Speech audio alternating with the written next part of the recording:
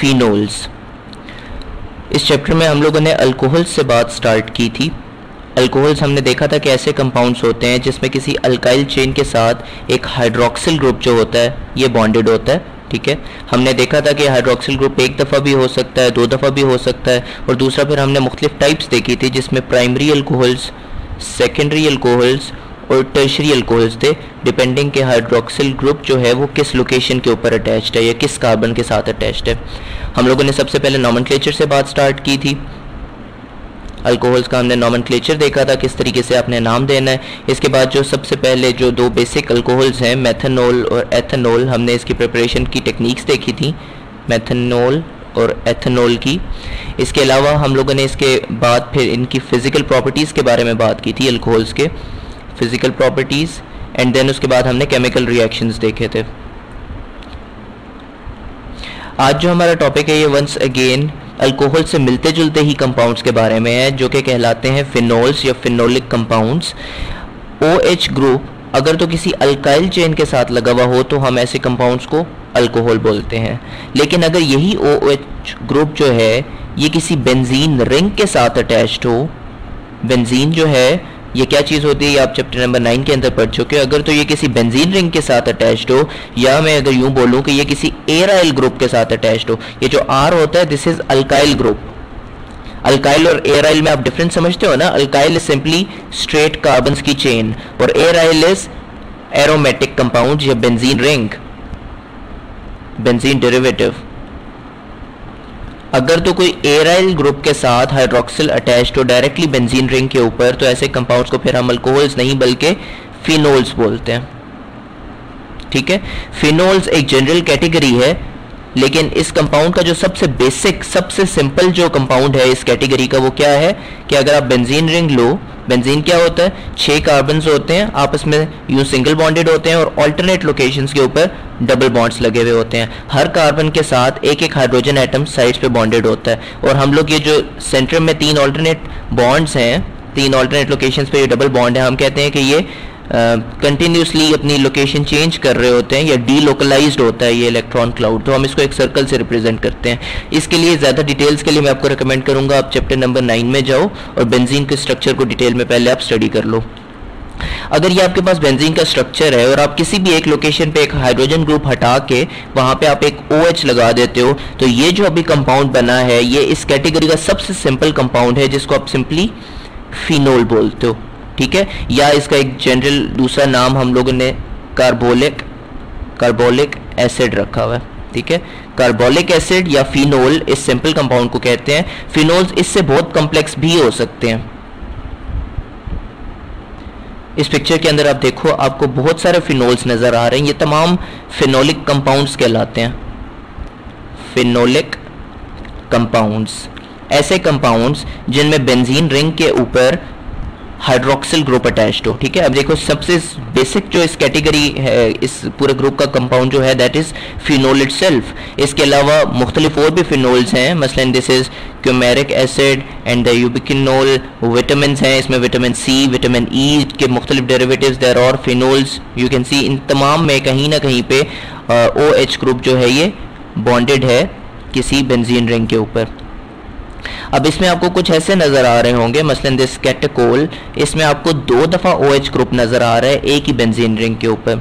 ऐसे कंपाउंड्स को हम बोलते हैं पोलीफिनोल या पोलीफिनोलिक कंपाउंड्स ठीक है? जिनके ऊपर एक से ज़्यादा दफ़ा हाइड्रोक्सिल ग्रुप अटैच्ड होता है। फॉर एग्ज़ाम्पल दिस वन अब ऊपर वाले में और इस वाले में डिफरेंस क्या है कि कार्बन जो बॉन्ड लोकेशन है, इसमें ऑर्थो और पैरा लोकेशन पे है इसमें ऑर्थो और मेटा लोकेशन पे। है फिनोलिक कंपाउंड्स के बारे में एक इंटरेस्टिंग फैक्ट मैं आपको बताऊँ कि जितने भी कंपाउंड्स हैं, इन तमाम का बहुत ही मज़े का फ्लेवर होता है। या जो इनकी खुशबू है, वो बहुत मज़े की होती है। इनका जो ऑर्डर है स्मेल जो है दैट इज़ वेरी मज़े की, जिसकी वजह से हम इनको फ्लेवर्स के अंदर यूज़ करते हैं। फ्लेवर्स और परफ्यूम्स जो होते हैं, इनमें नॉर्मली फिनोलिक कंपाउंड्स काफ़ी सारी तादाद में इस्तेमाल किए जाते हैं। ठीक है? उसकी रीज़न ये है कि फिनोलिक कंपाउंड्स की बड़े मज़े की स्मेल होती है और टेस्ट इनका मज़े का होता है। टेस्ट ऐसे इनको टेस्ट नहीं करते बट इनका जो ऑर्डर है वो मज़े का होता है। जो इस कैटेगरी का सबसे सिंपल अभी आपने कंपाउंड देखा है उसके बारे में हम थोड़ी सी और बात कर लेते हैं। ये जो फिनोल है ये आप अक्सर आपने देखा होगा पेरेंट्स को या घरों में आ, ये बात करते हुए कि जो आ, फ्लोर वगैरह को साफ़ करने के लिए क्लिनजिंग के लिए ना नॉर्मली हम इस्तेमाल करते हैं फिनोलिक कंपाउंड्स या कहते हैं ना, फिनाइल से पोचा लगाना, या आप किसी फर्श को साफ़ करते हो, फिनाइल से इसका मतलब होता है कि आप फिनाइल फिनाइल के अंदर कोई ऐसी चीज़ है जो बेसिकली बैक्टीरिया को किल करती है, ठीक है? और इसी वजह से फिनाइल जो है, या सिंपल फिनोल जो है, इसको आप यूज़ करते हो एज अ डिसइनफेक्टेंट तो ये क्लीनिंग वगैरह के लिए नॉर्मली इस्तेमाल होता है फिनोल तो ये जितने आपकी बड़ी बड़ी बॉटल्स होती हैं जो फर्श साफ़ करने के लिए आप इस्तेमाल कर रहे होते हो basically those are that is simple phenol या कार्बोलिक एसिड आज जो हमारा लेक्चर है, वो ज़्यादा फोकस्ड रहना था इंट्रोडक्शन और प्रिपरेशन के हवाले से। So let's get to the preparation part now आपका जो कोर्स है आपकी बुक के अंदर, उसके अंदर हम लोग सिंपली ये जो कार्बोलिक एसिड था, ये स्टडी करेंगे। ठीक है? जो ज़्यादा कम्प्लेक्स फिनोल्स हैं, वो हम लोग उनके बारे में बात नहीं करेंगे। जो सिंपल फिनोल है, सबसे बेसिक फिनोल या कार्बोलिक एसिड हम इसके बारे में सिर्फ़ बात करेंगे। इस फिनोल को प्रिपेयर करने का क्या मेथड है? इस फिनोल को प्रिपेयर करने के दो मेथड्स हैं, जो आपके कोर्स कंटेंट में शामिल हैं। सबसे पहले मैं आपको एक जनरल मैकेनिज्म बताता हूँ, जिससे बेंजीन के जो रिएक्शंस होते हैं नॉर्मली होते हैं। आपने इससे पहले चैप्टर नंबर नाइन के अंदर बेंजीन्स के कुछ रिएक्शन पड़े हैं। और वो तमाम के तमाम जो रिएक्शंस थे those were electrophilic substitution reactions substitution reactions आपको पता है कि बेंजीन जो है, ये सब्सटीट्यूशन रिएक्शंस देता है, ये एडिशन रिएक्शंस नहीं देता। ये एक बेंजीन रिंग है, ठीक है? इस पे ऑल्टरनेट पे तीन पे डबल बॉन्ड है। अब इस बेंजीन को फॉर एग्जांपल आप अगर हेलोजिनेशन करने की कोशिश करते हो तो हेलोजिनेशन डायरेक्टली नहीं होती। आपने पढ़ा था कि आपको in the presence of iron chloride या इस तरह आपको करवानी पड़ती है, और उसमें फिर ये होता है कि ये दोनों मिल के पहले तो F E C L four बना देते हैं, ठीक है? और साथ में एक C L positive ion generate होता है। और ये जो सी एल पॉजिटिव आइन है, इसको ये बेंजीन रिंग अटैक करता है, ठीक है? ये बेंजीन रिंग इसको आके अटैक करता है। ये बेंजीन रिंग क्यों अटैक करता है? क्योंकि इसमें डी लोकलाइज इलेक्ट्रॉन्स हैं। डी लोकलाइज इलेक्ट्रॉन्स और ये जो अभी आपने एक प्रोड्यूस किया है सीएल पॉजिटिव ये इंतहाई एक्टिवेटेड फॉर्म के अंदर है। तो ये इसके ऊपर बेंजीन रिंग जो है, ये इलेक्ट्रॉन क्लाउड जो है, ये अटैक करेगा इस सी पॉजिटिव को, ठीक है? किसी एक लोकेशन के ऊपर सी पॉजिटिव आके अटैच हो जाएगा एंड देन वहाँ से एक हाइड्रोजन सब्सिट्यूट हो जाएगा, एक और सी के साथ एक एच प्रोड्यूस कर देगा, ठीक है? सो ये इस तरीके, इसलिए हम लोगों ने ये एफ़ e जो होता है, ये हम बीच में यूज़ करते हैं, ये बेसिकली एक नेगेटिव आइन होता है एफ़ e ये बाद में फिर हाइड्रोजन को एब्स्ट्रैक्ट कराने में हेल्प करता है। सो so, ये तो थे इलेक्ट्रोफिलिक सब्सिट्यूशन रिएक्शंस और अगर आपने नहीं पढ़े हुए तो आई वुड अगेन रिकमेंड कि आप चैप्टर नंबर नाइन का ये वाला इलेक्ट्रोफिलिक सब्सिट्यूशन रिएक्शंस का मैकेनिज्म देख के फिर इस टॉपिक पे आओ। ये जो बेंजीन फिनोल्स के नॉर्मली जो रिएक्शन होते हैं ना they are not electrophilic substitution reactions they are nucleophilic substitution reactions substitution reactions first of all तो At this stage, you must be knowing what is the difference between electrophilic substitution and nucleophilic substitution. Electrophilic substitution में ये होता है कि कोई बहुत ही strong electrophile होता है और जिस रीजेंट के साथ आपने रिएक्शन करवाना है वो जाके अटैक करता है इलेक्ट्रोफाइल को ठीक है और न्यूक्लियोफिलिक सब्सटीट्यूशन और फिर वो जो इलेक्ट्रोफाइल है वो आके सब्सटीट्यूट हो जाता है इस लोकेशन के ऊपर और न्यूक्लियोफिलिक सब्सटीट्यूशन रिएक्शंस वो होते हैं जिसमें for example you have this benzene ring और लेट से कि आपके पास क्लोरोबेंजीन है। अब इस क्लोरोबेंजीन का अगर मैं रिएक्शन करवाता हूँ with sodium hydroxide at very intense conditions intense conditions mean मैं इसका टेम्परेचर ऑलमोस्ट 350 प्लस रखता हूँ, ठीक है सेल्सियस के अंदर, और मैं इसका प्रेशर जो है अप्रॉक्सीमेटली 150 एटीएम रखता हूँ। You understand 150 ATM is too much of a pressure 1 ATM बराबर होता है one zero one three two five pascals के या न्यूटन पर मीटर स्क्वायर के एंड ऑलमोस्ट वन बार के करीब। सो so, आप उसको 150 गुना ज़्यादा उससे प्रेशर ले रहे हो ठीक है? And this is itself a lot of pressure so इतने इंटेंस प्रेशर के अंदर क्या होता है कि ये जो सोडियम है हाइड्रोक्साइड है इसमें जो ऑक्सीजन है यू सी इसके ऊपर दो लोन पेयर्स हैं। Two lone pairs of electrons इसने एक बॉन्ड इधर बनाया हुआ है और एक बॉन्ड इधर बनाया हुआ है। अब इलेक्ट्रोफिलिक सब्सटीट्यूशन रिएक्शन के अंदर यू सॉ कि बेंजीन रिंग जाके अटैच कर अटैक करता है एक इलेक्ट्रोफाइल को। और ये जो न्यूक्लियोफिलिक सब्सटीट्यूशन रिएक्शंस हैं, इसमें एक न्यूक्लियोफाइल जो है, जो कि इस कंडीशन के, इस केस में हमारे पास सोडियम ऑक्साइड होगा, ठीक है? सोडियम ऑक्साइड नहीं सिंपली एन ये आके अटैक करेगा इस इलेक्ट्रोफिलिक कार्बन को। क्यों? क्योंकि इसके पास लोन पेयर्स ऑफ़ इलेक्ट्रॉन्स थे और this is electronegative and this carbon here would be electropositive तो इस लोकेशन पे आके ये अटैक करेगा। ये बहुत ही रेयर रिएक्शन है। ये जो न्यूक्लियोफिलिक सब्सटीट्यूशन रिएक्शंस हैं, ये शायद टोटल दो या तीन होते हैं। ठीक है? पूरी ऑर्गेनिक केमिस्ट्री में जितने भी आपने रिएक्शंस देखने हैं एरोमेटिक कंपाउंड्स के। एरोमेटिक कंपाउंड्स नॉर्मली बल्कि हमेशा इलेक्ट्रोफिलिक सब्सटीट्यूशन करते हैं। लेकिन कुछ इंटेंस कंडीशन के अंदर इनकी न्यूक्लियोफिलिक सब्सटीट्यूशन भी करवाई जा सकती है। तो ये एक न्यूक्लियोफाइल जो है, ये यहाँ पे अटैक हो जाएगा, ठीक है? और चूँकि सब्सटीट्यूशन रिएक्शन है तो यहाँ से फिर ये जो क्लोरीन है, ये जो इलेक्ट्रॉन पेयर है, ये फिर क्या करेगा? ये यहाँ से रिमूव हो जाएगा। ये क्लोरीन इस सोडियम के साथ एक बॉन्ड बना लेगा और आपके पास जो फाइनल प्रोडक्ट्स बनते हैं, उसमें ये बेंजीन रिंग हो गया, ठीक है? यहाँ पे एक सी एल माइनस बल्कि सॉरी मैं आपको ये बता रहा हूँ कि जो क्लोरीन जो है ये जाके अब अटैक करेगा यहाँ से बॉन्ड टूटेगा ना?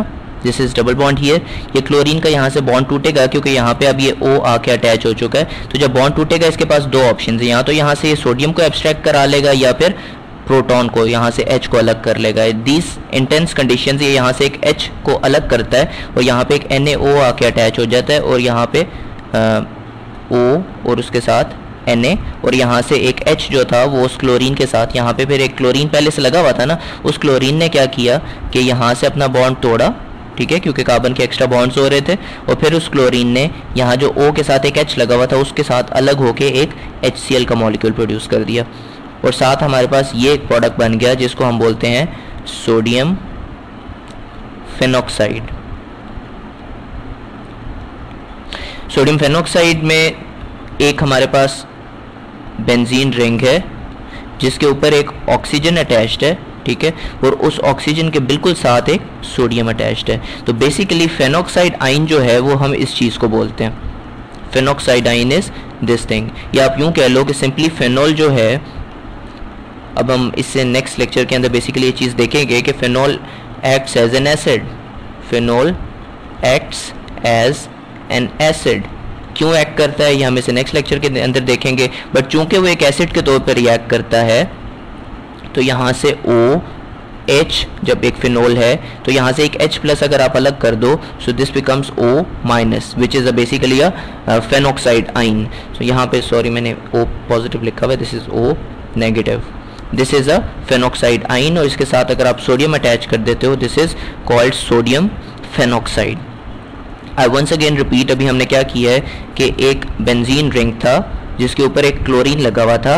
आपने बहुत ही इंटेंस कंडीशंस के अंदर एन ए ओ एच का रिएक्शन करवाया उसके साथ। चूँकि इसके ऊपर they're lone pairs of electrons they attack this electrophilic carbon over here और ये उसकी जगह आके बॉन्ड बनाया इसने, और ये जो इलेक्ट्रॉन पेयर था यहाँ से क्लोरीन का, इसने यहाँ से इस एच को एब्स्ट्रैक्ट करवाया, और ओ एन ए यहीं पर लगा रहा। यहाँ से ये वाला बॉन्ड ब्रेक हो गया और ओ आके यहाँ पे अटैच हो गया और यहाँ से ये सी एल यहाँ से ब्रेक हो गया और उसने एच के साथ बॉन्ड बना लिया। Finally one of your products was phenoxide sodium phenoxide and the other was H C L इससे नेक्स्ट स्टेप में ये होता है कि जो एच सी एल आपने डाला हुआ फिर मजीद एक्सटर्नली मजीद एच सी एल डालते हो। और वो जो एच सी एल होता है, वो क्या करता है कि वो सोडियम फेनोक्साइड के अंदर से आप इसके अंदर जब मज़ीद एच सी एल एक्सटर्नली डालोगे तो ये एक एसिड है H C L mineral acid है, ये क्या करेगा कि सिंपली एक सब्सिट्यूशन हो जाएगी। ये एच आके यहाँ पे और एन ए सी एल के साथ रिएक्ट कर जाएगा। तो one of your products would be N A C L and the other product would be phenol तो इस तरीके से हम लैब के अंदर फेनोल को प्रिपेयर कर सकते हैं। This process completely is called Dow's process ये जो भी हमने स्टडी किया है। डॉस प्रोसेस में हम रिपीट कर देते हैं, क्या होता है कि क्लोरोबेंजीन क्लोरोबेंजीन का आप रिएक्शन करवाते हो with base with very strong base sodium hydroxide at very intense conditions that is 350 plus degree Celsius temperature और 150 एटीएम प्रेशर के ऊपर। और ये जो आपने सोल्यूशन लेना है ना सोडियम हाइड्रोक्साइड का, ये बहुत ही डाइल्यूट सोल्यूशन आपने लेना है। कंसनट्रेटेड नहीं लेना डाइल्यूट सोल्यूशन लेना है। By dilute I I mean mean, आप सोडियम हाइड्रोक्साइड और वाटर का सोल्यूशन लोगे और ये तकरीबन 10 परसेंट तक आपने लेना है। इससे ज़्यादा नहीं लेना 10 टू 15 परसेंट तक। क्लोरोबेंजीन के साथ अगर आप रिएक्शन करवाते हो तो सोडियम ऑक्साइड आके अटैच हो जाता है क्लोरीन की जगह ठीक है? एन आके अटैच हो जाता है। या अगर इस रिएक्शन को आप सिंगल स्टेप के अंदर समझना चाहते हो तो दैट इज़ इवन सिंपलर यहाँ पे क्लोरीन लगा हुआ था। आपने एन ए ओ एच के साथ रिएक्शन करवाया। इस एन एच ने आके इस लोकेशन के ऊपर अटैक किया, ठीक है? और यहाँ से ये वाला बॉन्ड टूट गया, चूँकि वो आके यहाँ पे अटैच हो गया। वो आके कैसे अटैच हुआ, मैं आपको अटैच करके भी दिखा देता हूँ, ठीक है? ये ऐसे अटैच होगा। यहाँ पे आके एक ओ ये इसका इलेक्ट्रॉन पेयर जो यहाँ पे था, ये इसके साथ बॉन्ड हो जाएगा।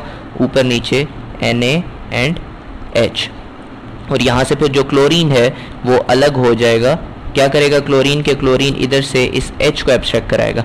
अब इंस्टेड ऑफ़ दिस कि आप ये सोचो कि उसने एच को एब्स्ट्रैक्ट कराया, आप यूँ सोचो कि उसने Na को एब्स्ट्रैक्ट करवाया और Na प्लस और Cl दो अलग हो गए, एक final product N A C L produce हो गया। एंड इस तरीके से भी आप फेनॉल प्रोड्यूस कर सकते हो। This is an easier way of understanding the same reaction but the mechanism is different from this mechanism वो है जो आपको मैंने ऊपर टू स्टेप प्रोसेस के अंदर एक्सप्लेन किया।